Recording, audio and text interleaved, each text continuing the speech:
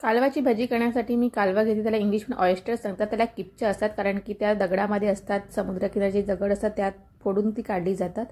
तर मी मस्त अशी स्वच्छ अशी धुवून घेतली त्यामध्ये आलं लसणाची पेस्ट टाकली गरम मसाला टाकला हळद टाकली घरगुती मसाला टाकून दिला आणि थोडंसं असं चवीप्रमाणे मीठ टाकलं आणि सर्व असं मिक्स करून घेतलं एकजीव करून घेतलं सर्वांना असा मसाला लागला पाहिजे.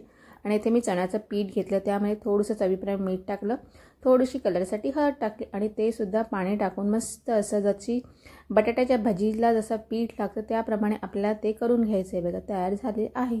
त्यामध्ये जी कालवं होती मसाला लावलेली ती टाकून घेतली चमचीनी अशा. आणि मस्त असं तेल गरम केलं आणि एक एक कालवं चमचीनी सोडत गेली. छान असं. आणि मस्त असं फ्राय करून घेतले. Tasty yummy yummy. आणि ही चविष्ट खूप छान लागतात. आणि मस्त अशी काढून घेतली. आणि चला तर आवडली रेसिपी तर पटकन सबस्क्राईब करा.